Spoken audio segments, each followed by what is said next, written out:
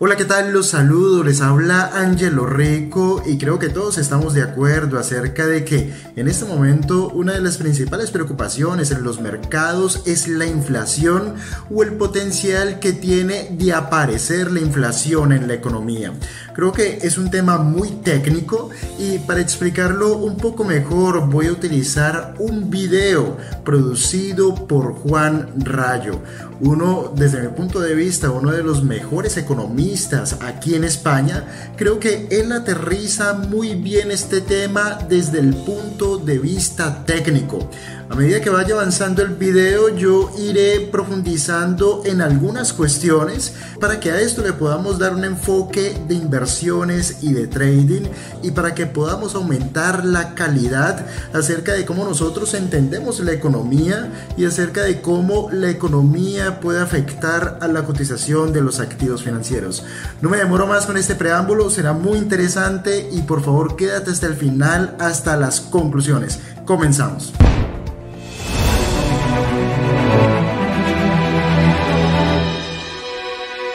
El miedo a la inflación vuelve con fuerza a los mercados después de que el IPC estadounidense se incrementara en el mes de abril un 4,2%, la tasa de variación más alta desde el año 2008, en los últimos 13 años. Y aunque muchos se han apresurado a quitarle importancia al asunto, apelando a que se trata de un mero efecto estadístico como consecuencia del estancamiento del IPC durante el año 2020, año de la pandemia, y como consecuencia de la rápida reactivación que está viviendo la economía estadounidense y que se está trasladando en un alza de los precios mundiales del petróleo, de hecho, los precios de la energía son los principales responsables de que los precios hayan aumentado tanto en el mes de abril. El componente de precios energéticos crece no un 4,2% como el índice general de precios, sino más de un 25%. Ya digo, aunque muchos se han apresurado a quitarle hierro al asunto, en realidad no deberíamos desdeñar lo sucedido como algo anecdótico e irrelevante, y básicamente por tres motivos. En primer lugar, porque el dato de inflación, por mucho que lo queramos explicar por el componente energético y demás, fue un dato de inflación bastante peor del esperado. El pronóstico medio entre los analistas era del 3 Perdonen que interrumpa a Rayo en este punto, pero creo que para la mayoría de nosotros es entendible cómo afecta la inflación de eh, componentes energéticos a la inflación general de la economía. Sin embargo, solo añadir lo siguiente, y esto es para las personas que no lo tienen bien claro. Eh, piensa que eh, todo lo que son factores energéticos, gasolina, todos los derivados del petróleo, afectan directamente a la cadena logística y a todos los los medios de transporte, tanto de personas como de mercancías. Piensa que si transportas mercancías o personas por avión, el mayor componente de costo para esa cadena logística, para ese medio de transporte, es el factor energético, la gasolina que le echamos a los aviones. Si vas por barco, el mayor componente de costo al momento de transportar mercancías y personas es el factor energético, es la gasolina que le echas a los barcos. Por supuesto que si estamos hablando de inflación de energéticos derivados del petróleo, es fácil llegar a la conclusión de que un aumento en el precio de este componente de costo se transferirá al consumidor final y que por lo tanto la inflación de energéticos indiscutiblemente se convertirá en inflación general para la economía. Continuamos. 3,6% y finalmente fue del 4,2%. El hecho de que el dato de inflación haya sido peor del esperado significa que muchos agentes económicos habrán tenido que revisar sus expectativas porque si esperaban una inflación creciente pero menos creciente de lo que finalmente ha sido, pues sus expectativas iniciales se han visto defraudadas y ahora tendrán que enmendar aquellas decisiones que tomaron en función de una inflación esperada menor de la que finalmente ha sido. Nuevamente interrumpo al profesor Rayo para aclarar esta partecita que es tan importante de las expectativas. ¿Por qué las expectativas acerca, en este caso, de la inflación son tanto o incluso más importantes que la inflación efectiva? Porque pongámonos en los zapatos de un productor. Un productor eh, tiene que incluir todas las variables de costo que influyen en sus costos globales de producción y al final, cuando él sabe cuánto le cuesta producir algo, le tiene que incrementar su margen de beneficio. Entonces pensemos en lo siguiente, si un productor de lo que sea, por ejemplo de artículos de plástico, que es un derivado del petróleo, eh, encuentra que las expectativas de la inflación son crecientes, entonces él no es tonto. Él entenderá que una de sus materias primas más importantes tenderá a subir de precio. Y la consecuencia natural de esto es que él se cubrirá de, ese, de esa alza futura subiendo él mismo los precios hoy. Sube los precios hoy de sus productos para intentar anticiparse a un incremento futuro de sus materias primas o de sus eh, productos intermedios que utilicen en la fabricación de sus productos. Entonces, claro, las expectativas de inflación terminan por ser una profecía autocumplida porque se convierten en la práctica en inflación efectiva a partir de ahora. Por esto es que en economía las expectativas de inflación son tan importantes y por esto es tan importante también cuando analizamos los mercados financieros. Antes de continuar, quiero invitarte a que nos sigas a través de nuestra cuenta de Instagram arroba invertir aprendiendo desde mi punto de vista es la mejor cuenta de Instagram que tiene que ver con temas de inversiones y con temas de trading. Es la mejor en el mundo de habla hispana, no encontrarás otra igual por la gran cantidad de valor que allí aportamos, conocimiento y la gran cantidad de datos que de manera muy sintetizada te entregamos para que puedas tener una idea acerca de lo que está ocurriendo en los mercados financieros. Síguenos también a través de Instagram arroba invertir. Segundo lugar, aunque es verdad que, como ya hemos dicho, los precios de la energía han tenido una importancia muy considerable a la hora de explicar este dato de inflación, no nos equivoquemos.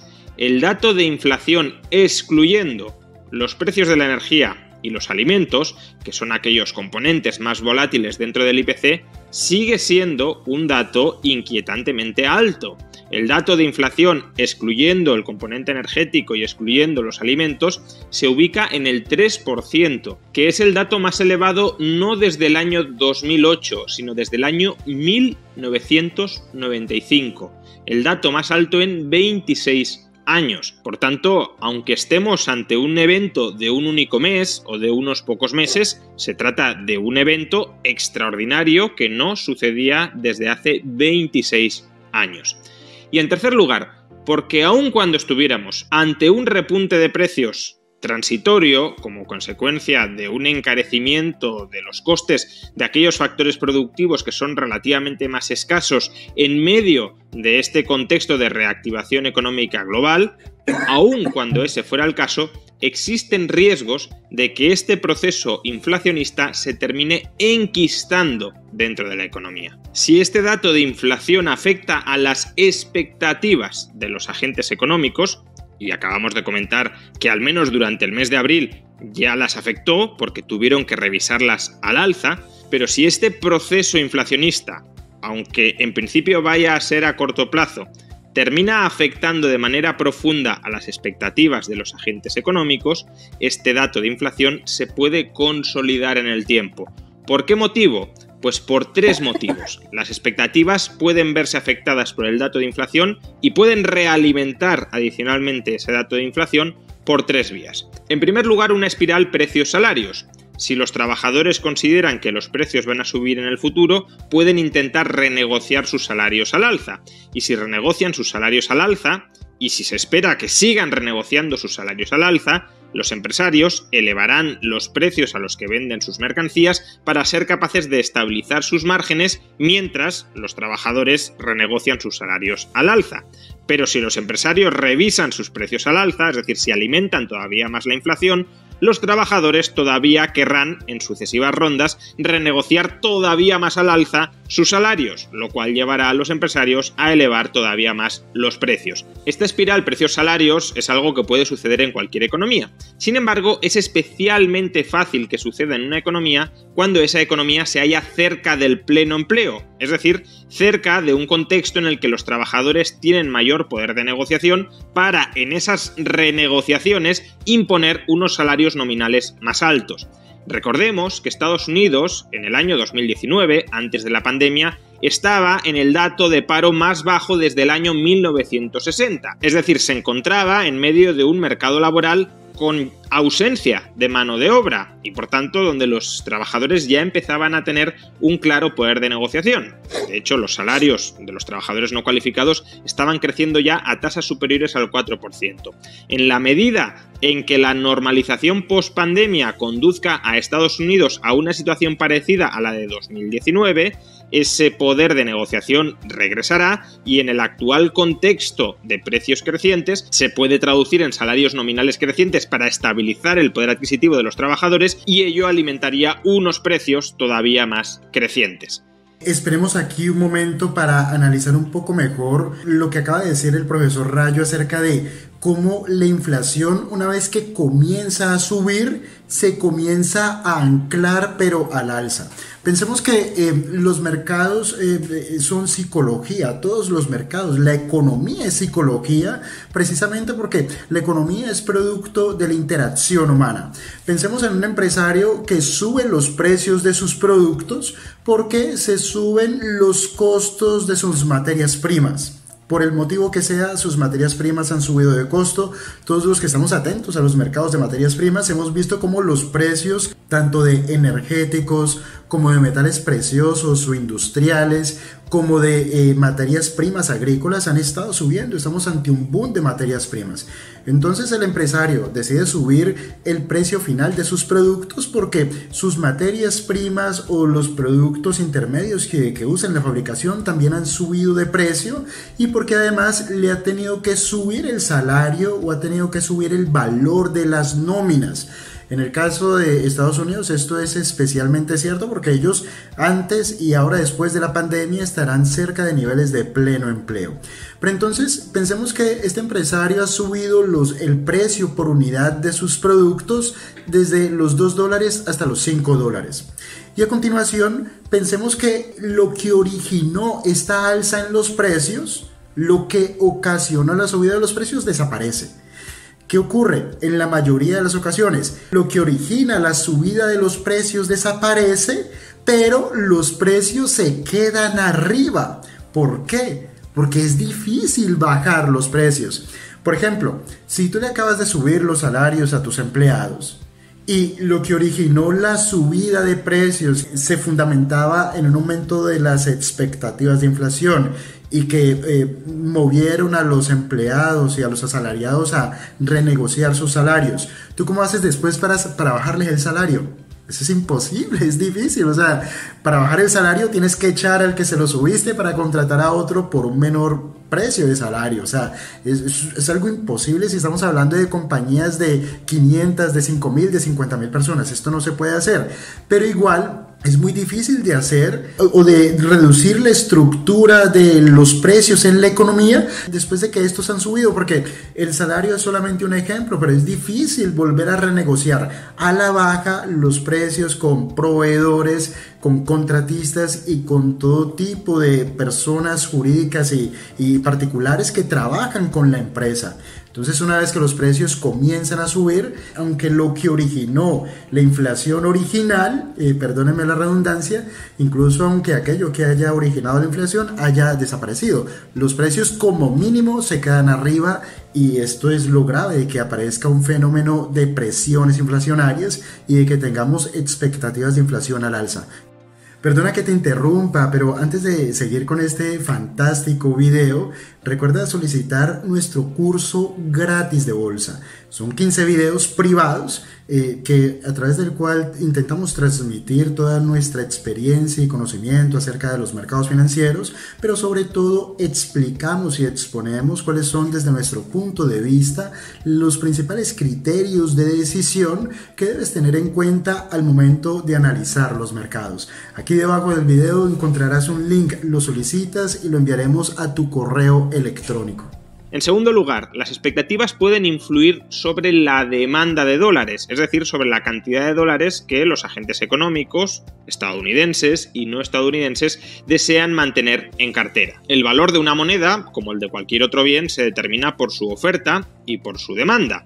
Si la oferta aumenta sin que la demanda lo haya hecho, el valor del dinero se depreciará. Si la demanda cae sin que la oferta se reduzca, el valor del dinero se depreciará. Durante el último año hemos asistido a un incremento muy considerable de la oferta monetaria dentro de Estados Unidos. La oferta monetaria definida como M2, donde se incluyen por tanto dólares en circulación, depósitos a la vista, depósitos a plazo, la oferta monetaria definida como M2 ha crecido un 25% en solo un año. Los planes de estímulos fiscales y de estímulos monetarios se han traducido en este extraordinario incremento de la oferta monetaria en dólares en manos de los ciudadanos. Para que ese incremento tan notable de la oferta monetaria no tenga una repercusión en forma de depreciación del dólar y por tanto de inflación, es necesario que la demanda de dinero la demanda de M2 se haya incrementado y se mantenga incrementada en una magnitud similar al aumento de la oferta. Si la oferta crece un 25% y la demanda absorbe toda esa oferta incrementada, entonces los precios se estabilizarán a pesar del incremento de la oferta. ¿Cuál es aquí el problema? Que si los agentes económicos esperan que va a haber inflación y que por tanto su moneda el valor de su moneda va a ir cayendo en el tiempo, muchos agentes económicos que tienen dólares como activo de reserva pueden empezar a desprenderse de esos dólares cuyo valor consideran que se va a depreciar en el futuro para comprar o bienes de consumo o activos reales o activos financieros, todos ellos denominados en dólares, pero que sean capaces de mantener su valor mientras el dólar se deprecia, o también comprar activos denominados en moneda extranjera, en otras monedas extranjeras que no esperen que se vayan a depreciar junto con el dólar.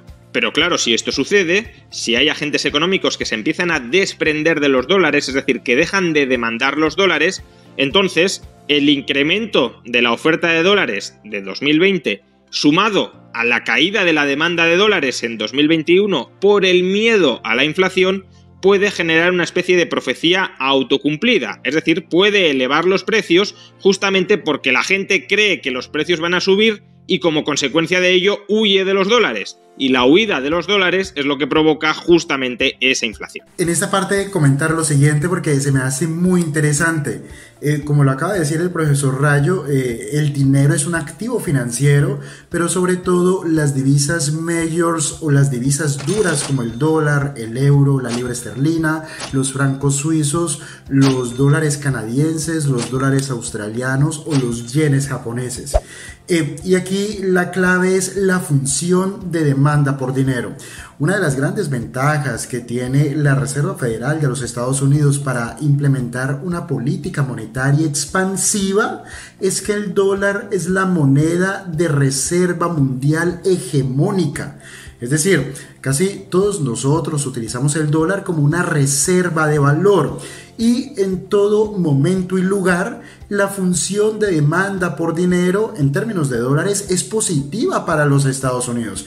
Es decir, la demanda de dólares casi siempre es superior a la oferta de dólares.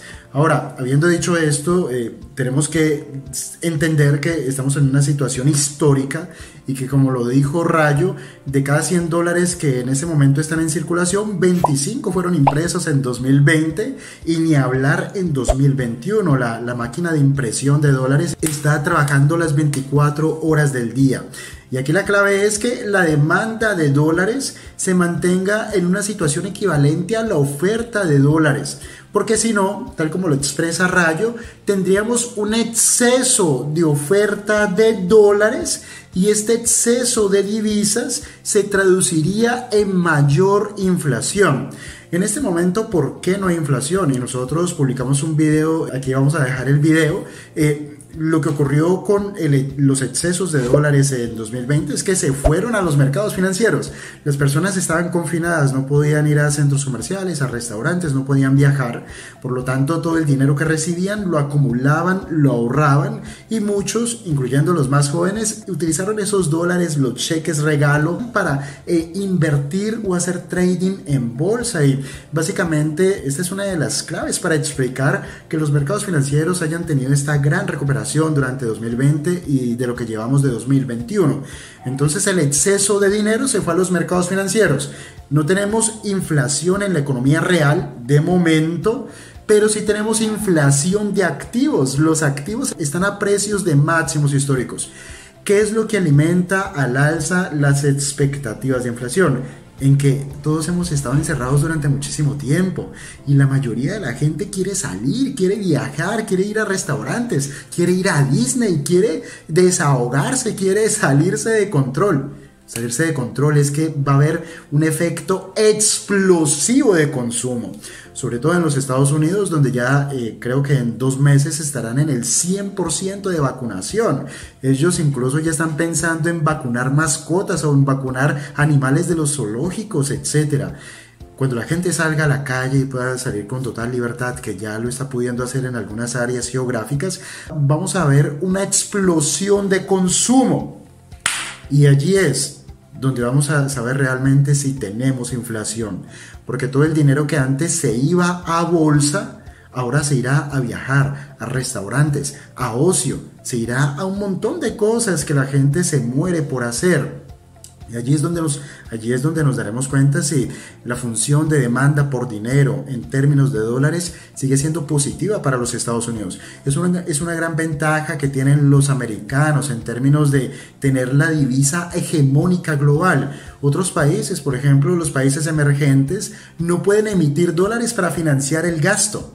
Porque, eh, hombre, miremos el peso colombiano la función de demanda por dinero en términos de pesos colombianos es negativa. Si yo emito exceso de pesos, no hay suficiente demanda porque es una divisa débil sobre una economía que tiene grandes problemas macro y no es una economía sofisticada y no tiene unos puntos de apoyo lo suficientemente fuertes. Por lo tanto, no pueden financiar un mayor gasto con emisión monetaria, como si lo pueden hacer países ricos como los Estados Unidos o regiones ricas como la Unión Europea.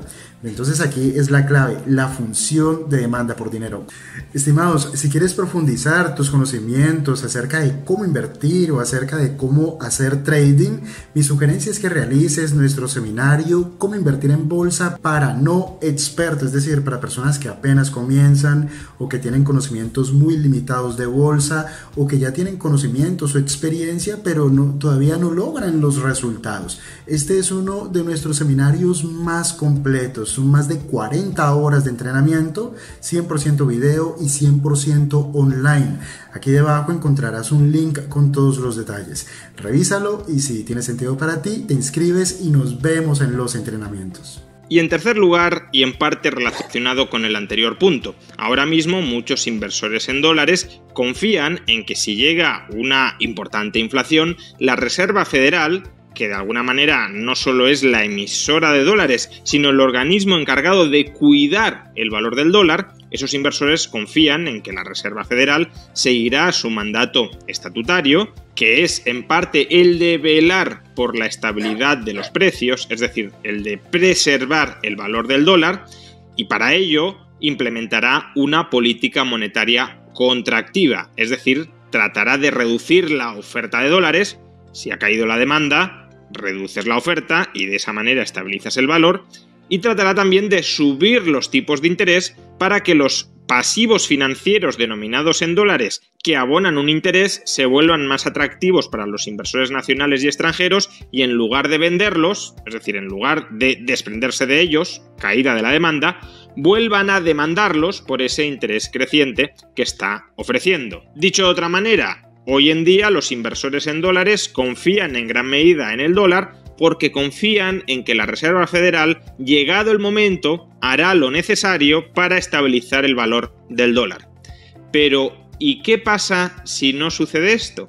¿Qué pasa si la Reserva Federal, cuando llega la inflación, como está llegando ahora, se resiste a contraer, a reducir la oferta monetaria y se resiste a incrementar los tipos de interés? ¿Qué sucede si la Reserva Federal acepta impotente la inflación que está llegando porque no quiere elevar los tipos de interés para perjudicar a un gobierno estadounidense, al Tesoro estadounidense, que está tremendamente endeudado y por tanto, si se suben los tipos de interés, el Tesoro sufrirá muchísimo, tendrá que aplicar planes muy duros de austeridad de contracción del gasto, de subidas todavía mayores de los impuestos y eso podría resultar obviamente impopular para el gobierno de Joe Biden. ¿Qué sucede por tanto si la Reserva Federal empieza a priorizar más las necesidades y la agenda del gobierno estadounidense en lugar de las necesidades y la agenda de los inversores en dólares. Si esto sucediera, los economistas diríamos que hemos transitado de un régimen de dominancia monetaria, donde quien manda es la Reserva Federal y donde el gobierno se subordina a la política monetaria que implementa la Reserva Federal, habríamos transitado de ese régimen de dominancia monetaria a un régimen de dominancia fiscal, donde quien manda, quien establece las prioridades es el gobierno federal y es la Reserva Federal la que se ajusta, la que ajusta la oferta monetaria a las necesidades financieras del gobierno estadounidense. Pues bien, si entre la comunidad inversora en dólares empieza a cundir la idea de que la Reserva Federal ha pasado a convertirse en un organismo subordinado no a la comunidad que demanda dólares y que mantiene dólares en cartera porque confía en las actuaciones de la Reserva Federal, sino que ha pasado a convertirse en un organismo subordinado enteramente a las necesidades financieras del Tesoro, si hemos avanzado a un régimen de dominancia fiscal, el dólar se volverá una moneda de reserva muchísimo menos atractiva de lo que es hoy. Y por tanto, esa comunidad inversora en gran medida se desprenderá de los dólares porque sabrán que ya no pueden confiar en la Reserva Federal para estabilizar el valor de la moneda que ellos mantienen en cartera como un activo supuestamente libre de riesgo, y si ya no puedes confiar en el emisor y en el cuidador de esa moneda, pues te buscas otros refugios alternativos al dólar. Todavía no sabemos si hemos transitado de un régimen de dominancia monetaria a un régimen de dominancia fiscal. Es perfectamente posible que si durante medio año, durante un año, la inflación se mantiene muy alta, la Reserva Federal empiece a subir tipos de interés. Pero si la inflación perdurara durante un año y la Reserva Federal se negara a subir tipos de interés para controlar esa inflación aparentemente desbocada, sí que es altamente probable que los inversores estimarían que la Reserva Federal ha pasado a ser un organismo subordinado a las necesidades financieras del Tesoro y por tanto que empezarían a desprenderse de los dólares. Es decir, la demanda de dólares caería y esa reducción de la demanda de dólares depreciaría el valor del dólar, dando lugar a una nueva profecía autocumplida. Si las expectativas son que va a haber inflación y que además el contexto institucional que salvaguardaba al dólar de esa inflación ha desaparecido, entonces la inflación llegará como reacción anticipatoria por parte de los agentes que hoy demandan, que hoy retienen, que hoy mantienen dólares en su cartera. Recuerda siempre que todos nuestros videos son material educativo y que en ningún caso eh, tienen que ver con sugerencias o con consejos de inversión. Todas las decisiones que en términos de trading y en términos de inversiones vayamos a tomar en los mercados financieros deben basarse en nuestro propio análisis, deben basarse en nuestras preferencias y en nuestro propio criterio. Es solo material educativo y si esto está totalmente claro, te invito a continuar. Miren, eh, esta parte es muy importante. Yo creo que todos los que eh, eh, sabemos de historia económica conocemos lo que ocurrió con el dólar, con la inflación y con los tipos de interés durante la década de los 70, a principios de los 70, durante la administración de Richard Nixon, el dólar dejó eh, de tener esta paridad con el patrón oro, dejó de ser patrón oro. Es decir, la cantidad de dólares que circulaban en la economía a partir de la década de los 70 ya no estaba vinculada a la cantidad de oro que respaldaba esos dólares. A partir de ese momento el dólar sufrió una fuerte devaluación y esta devaluación combinada con otros fenómenos macroeconómicos y geopolíticos como la crisis del Ayatollah Khomeini en Irán o la crisis del petróleo por la, cartelización de los países productores de petróleo y que llevó al desabastecimiento de gasolina en los Estados Unidos en los 70 muchos eventos además de eh, esta pérdida de vínculo con el oro eh, llevaron a que además de que el dólar se devaluase esta devaluación se transformara en inflación. y que esta inflación llevara los tipos de interés hacia niveles entre el 15 y el 20% y que esta combinación de factores llevó a la recesión, una gran recesión en los Estados Unidos y una eh, gran pérdida de riqueza en los mercados financieros. Todo esto se vino a resolver solo hasta la década de los 80. ¿Por qué tardó tanto en resolverse esa situación? Porque la inflación es grave. La inflación cuando comienza a aparecer tiene un efecto bola de nieve. Y como lo dijimos al principio, una vez que los precios comiencen a subir, podría ser que lo que originó la subida desaparezca, pero los precios se quedan anclados en la práctica y desde el punto de vista psicológico se quedan anclados arriba, porque los seres humanos nos adaptamos a ese nuevo nivel de precios y la inflación se queda allí. La única forma de atacar la inflación es con subida de los tipos de interés, con la contracción de la oferta monetaria. ¿Qué es lo que como economista uno prevé que la Reserva Federal debería hacer? Una política monetaria acomodaticia, pero del tipo goteo. A medida que aparecen presiones inflacionarias, ellos no van a esperar hasta que estas presiones inflacionarias sean muy graves, sino que van a empezar a subir de manera muy tímida los tipos de interés, muy poquito, muy poquito van a empezar a subir los tipos de interés, porque de esta manera enviarán una señal a los agentes económicos acerca de que ellos van a combatir la inflación y que ellos mantienen su mandato en términos de defender el dólar, pero en el sentido de ser una reserva de valor, una reserva de riqueza. ¿Qué es reserva de valor? Cuando tus dólares te alcanzan más o menos para comprar los mismos artículos hoy que dentro de un año, que no, no vas a tener volatilidades en ese sentido, como si ocurre con las divisas de, provenientes de países emergentes. Eh, ocurrirá algo, lo que se denominaría o lo que yo diría como vamos a tomar veneno un poquito todos los días. Van a subir los tipos de interés un poquito todos los días para que sea imperceptible para la economía y para los mercados, pero con la intención de enviar ese mensaje. Si ellos, como dice Rayo, llegasen a dar la impresión de lo contrario, dejasen agravar el fenómeno inflacionario, claro, los mercados lo que empezarían a descontar es una subida no gradual de los tipos de interés y no un retroceso o una contracción gradual de la oferta monetaria, sino que si la inflación se agrava y se vuelve galopante y estuviéramos en un momento de dominancia fiscal, como él lo denomina, eh, en algún momento la Reserva Federal tendría que subir los tipos de interés de manera brutal y de manera brusca e imprevista. Y eso sería muy grave para los mercados, por eso los mercados intentarán anticiparlo. Estimados, antes de continuar, te invito a realizar nuestro seminario Cómo evitar sufrir pérdidas graves en los mercados. La mayoría de las personas que apenas comienzan en bolsa se enfocan en ganar dinero, pero nunca han invertido, cuando desde mi punto de vista el principal enfoque debería ser cómo no perder dinero, que es una de las situaciones más fáciles de vivir porque es algo que nunca hemos hecho. En eso se enfoca el seminario Cómo evitar sufrir pérdidas graves en los mercados. A medida que aprendemos cómo no perder dinero, en el fondo estamos aprendiendo cómo ganar dinero y ese es el objetivo principal que perseguimos. Si te interesa, aquí debajo encontrarás un link, te inscribes y nos vemos en los entrenamientos.